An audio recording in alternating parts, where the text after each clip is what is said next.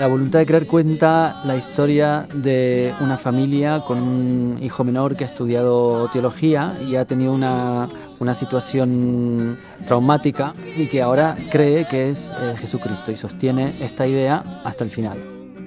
Todo lo que pasa en la función tiene que ver con las distintas relaciones que cada uno de los personajes tienen con la fe y con la voluntad de creer. Dialoga con, la, con el imaginario de Dreyer, pero también con, con la dramaturgia de, de que es maravillosa.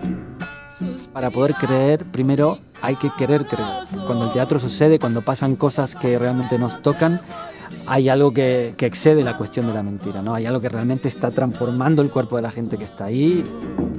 Me encantaría que, que la función pudiera despertar esas preguntas en, el público, ¿no? Preguntarse acerca de que, en qué cosas cree y hasta dónde es capaz de creer y por qué.